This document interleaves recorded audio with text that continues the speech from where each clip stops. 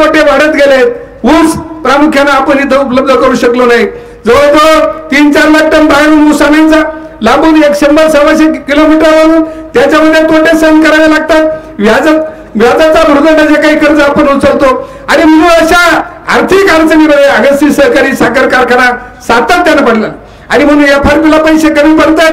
केंद्र सरकारनं जशी एफ आर पी सुरू केली तेव्हापासून साखरेचे दर आणि एफ आर ला देणारी जी रक्कम आहे याच्यामध्ये दादा जवळजवळ चारशे ते पाचशे रुपयाचा तोटा या कारखान्याला होतो. आणि म्हणून दरवर्षी एक पंचवीस कोटी रुपये हे अल्पमुदत कर्ज आम्ही जिल्हा बँकेकडून घेतो.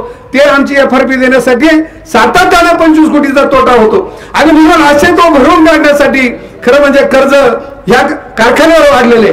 ह्या कारखान्यामध्ये बाकीचं काही फार कोणी अरे काही लोक तर म्हणतात शेखर भाऊ का गायकर सहा वर्ष चेअरमन होता आणि प्रचंड पैसा त्या बँकेकडून आणला गायकरनं आणि सगळा इथं संचालक मंडळीने वाटून घेतला. अरे काय चर्चा काय? असं असं करता येतं पैसे आणून वाटून घेता येतं. आणि म्हणून सातत्यानं शेतकऱ्यांचं पेमेंट करण्यासाठी शेतकऱ्यांची एफ आर पी देण्यासाठी कामगारांचे पगार व्यवस्थित होण्यासाठी हे सगळं चालवण्याच्या दृष्टीनं खरं म्हणजे हे कर्ज वाढलेलं आहे दादा तुम्हाला मी सांगतो. आणि म्हणून आमचा मनोदय आता आपण असेंब्ली प्रकल्प आम्ही मागच्या वर्षी सुरू केला. तो एक आशेचा किरण आमच्या आपल्या कारखान्याला आहे.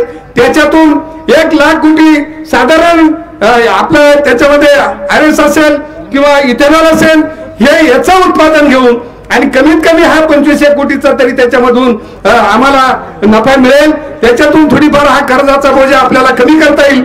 हा प्रयत्न आम्ही सगळी मंडळी करणार आहोत. जास्तीत जास्त खर्चाचा कमी खर्च खर्च कसा करता येईल? कमी आपली लोक त्यांच्यामध्ये कसं कामगारांच्या पगारावर काही त्यांच्याशी बसून काही निर्णय मला करावे लागतील अनेक ठोस निर्णय घ्यावे लागतील. एफ आर पी पेक्षा सुद्धा या तालुक्यामध्ये आमच्या कारखान्याला शेजारचे कारखाने जास्त भाव देतात. आणि म्हणून आम्हाला सुद्धा त्यांच्याबरोबर कॉम्पिटिशन करताना एफ आर पी पेक्षा सुद्धा जवळजवळ अठ्ठावीस तीस कोटी रुपये जास्त आम्हाला एफ आर पी पेक्षा जास्त रक्कम सभासदाला द्यावी लागलेली आहे. आणि म्हणून खरं या सगळ्या दुष्ट चक्रामध्ये हा कारखाना सापड परंतु दादा तुमच्या नेतृत्वाखाली जिल्हा सहकारी बँकेच्या सगळ्या आमच्या सहकार्यानं हा अगस्ती सहकारी सहकार कारखाना बंद पडू देणार नाही.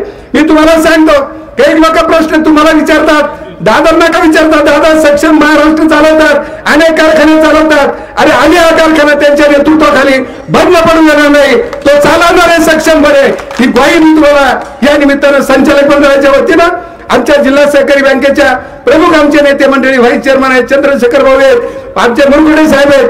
आणि ही जिल्हा बँक सातत्यानं आम्हाला मदत करत आहे. मी सहा वर्षा चेअरमन असताना ह्या जिल्ह्यातल्या सर्व कारखान्याला अतिशय चांगल्या पद्धतीची मदत केलेली आहे. आणि म्हणून माझी विनंती सर्व सभासद बंधूंना कोणत्याही भूलतापणला बळी न पडता. अरे काही चर्चा म्हणजे इतकी टीका व्यक्तिगत गायकरांवर करायची की सोसायटीमध्ये गायकर पळून गेला आणि उभा राहिला. तो निवडून येण्याची त्याला खात्री नव्हती. अरे मी दोन हजार दहा साली त्या गटातून कुतुळ गटातून उभा होतो. सर्वात जास्त मत या गटामध्ये मला आणि पर्वत नायकवाडीला पाच हजार पंच्याण्णव मतं पडली होती. विक्रम केला होता त्यावेळेस मतांचा. आणि त्याच्यानंतर तर मी बिनविरोध झालो. आणि म्हणून ह्या वेळेस जर मी गटातून उभा असतो तर तुम्हाला सांगतो प्रचंड मताने सात ते आठ हजार मतं त्यावेळेस सुद्धा मला पडली असती. परंतु ह्या कारखाना चालवण्यासाठी आमचे ज्येष्ठ सहकारी मित्र ज्यांनी हा कारखाना उभारण्याच्या काळामध्ये मदत केली ते आमच्या आमदारांच्या चि- अ, वडील. आदरणीय लावडे गुरुजी यांना त्या कोतुळ घाटातून आम्हाला उमेदवारी द्यायची होती. आणि म्हणून मी कोतुळ घाटातून माघार घेतली आणि मी सोसायटीमध्ये उभं राहिलो. अशोकरावांना विनंती केली. अशा अर्थानं वरचा आदिवासी भागातले आमचे तीन चार सहा हजार सभासद आमच्या खाली चार हजार सभासद आणि म्हणून हा समन्वय घालण्यासाठी आदिवासी असेल किंवा भिगावादी असेल हा भेदभाव आम्ही केला कधी केला नाही. पण काही महाशयाने हे आदिवासींच्या सभासदांना तुम्ही हक्क दिला. आणि म्हणून तुम्ही निवडून आलात. हा चुकीचा आपण प्रचार ही सगळी मंडळी करतायत. माझी विनंती आहे तुम्ही तपासून पहा सगळी मतदानांची आकडेवारी. आमचा जो खालचा उसाचा पट्टा आहे या उसाच्या पट्ट्यामध्ये नऊशे मताचा लीड हे आमच्या सगळ्या संचालक मंडळाला आहे.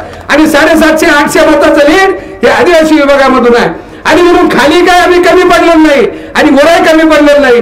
परंतु चुकीचा संदर्भ लोकांमध्ये निर्माण करण्याचा प्रयत्न काही मंडळी करतायत. आणि म्हणून माझा ऊस सुद्धा श्री आमचे सभासद असतील तालुक्यातील सगळे कार्यकर्ते असतील या सगळ्यांना माझी नम्र विनंती आहे.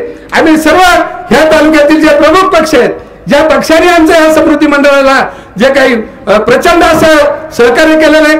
आणि म्हणून तुम्हाला मी सांगतो सगळ्यांना की आपल्याच्या सगळ्यांच्या सहकार्यानं अगसी सहकारी साखर कारखाना कधी बंद पडून देणार नाही सातत्यानं दादांच्या नेतृत्वाखाली आमच्या जिल्हा सहकारी बँकेच्या सर्वांच्या मदतीनं आणि आपले शेतकरी असतील माझे कामगार असतील कामगारांचे सुद्धा काही पगार आमचे दोन तीन पगार थकलेत पण दर महिन्याला आम्ही त्यांचे पगार करतोय. त्यांना काल आम्ही बोलत देण्याचा निर्णय घेतलेला आहे. त्यांना एक पगार देण्याचा निर्णय घेतलेला आहे. आणि दादा तुम्ही येणार? आणि म्हणून आम्ही एफ आर पीच्या तालुक्यातले ऊस उत्पादकांची पूर्ण एफ आर पी पाच हजार सत्त पाच पाच पंचवीसशे सत्तावीस एफ आर पी आणि तालुक्यातल्या सर्व शेतकऱ्यांची सुद्धा परवाच आम्ही त्याचे सगळे पैसे वर्ग केले. आणि म्हणून अशा अर्थानं शेतकरी असेल कामगार असेल या सगळ्यांना मदत करण्यासाठी आणि हा कारखाना अखंडपणे चालू चालू राहण्यासाठी दादांच्या नेतृत्वाखाली दादांच्या आशीर्वादानं खूप दिलं दादानी मला. दहा वर्ष मला महानंदाचं संचालक केलं.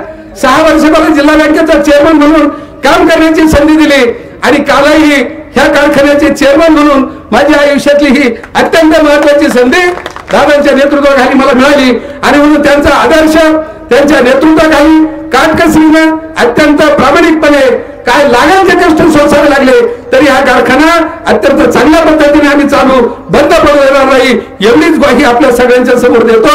आणि माझे दोन शब्द संपवतो. जय हिंद जय महाराष्ट्र. धन्यवाद गायकर साहेब.